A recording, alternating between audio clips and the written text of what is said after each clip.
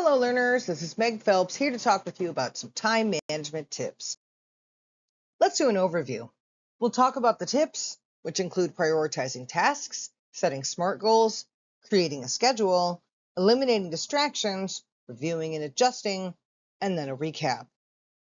So, time management. Time management is the process of planning and controlling how much time you spend on specific activities in order to work more efficiently and productively. Effective time management can significantly enhance productivity and it can also reduce stress. Here are a couple tips. First tip is you want to prioritize your tasks. Make sure to create a list, organize them by urgency and due date. What is due first? That's the first thing that you work on.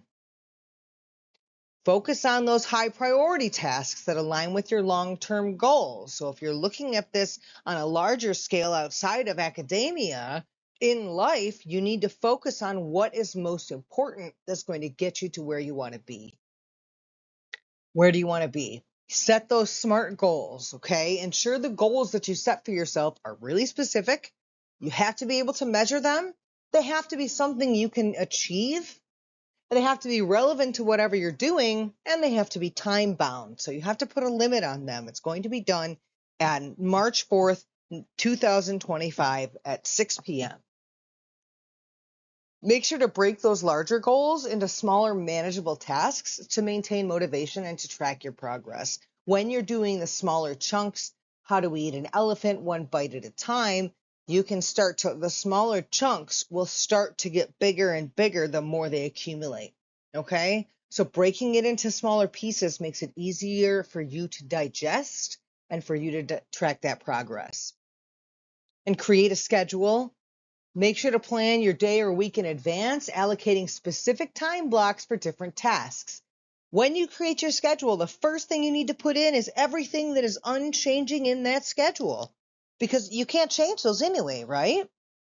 When do you sleep? When do you eat? When do you have a commute? When do you have work? When do you have class? When do you have study schedule? Start putting off blocks in there and setting it setting it up for yourself so you can see what time you actually have available for things that you want to do. You can also use a digital calendar to do this or even planners to visualize your schedule and set reminders for yourself. You can if you're using Google Calendar, you can set reminders. If you're using Microsoft Outlook, you can send emails to yourself.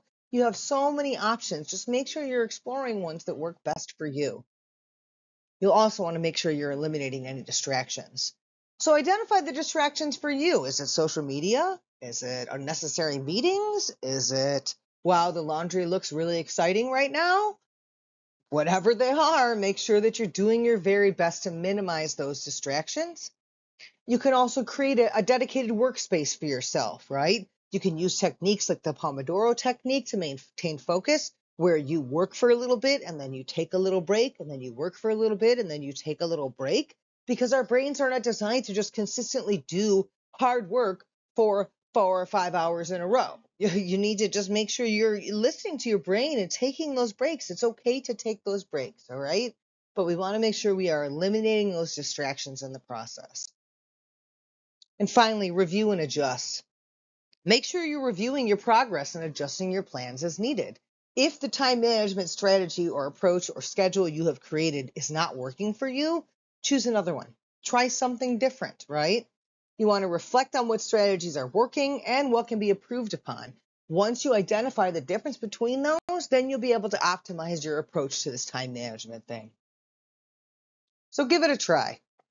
If you implement these tips consistently, hopefully they can help you manage your time more effectively and help you achieve your goals more efficiently. Make sure to be flexible by trying a variety of techniques to find the one that works best for you. And understand that even though it worked best in this scenario, when you use it again in a similar scenario, it may be as effective, it may not, and that's okay because it's all a learning process. So let's recap. We talked about prioritizing tasks, setting SMART goals, creating a schedule, eliminating distractions, reviewing and adjusting, and staying flexible. Thank you so much for your time.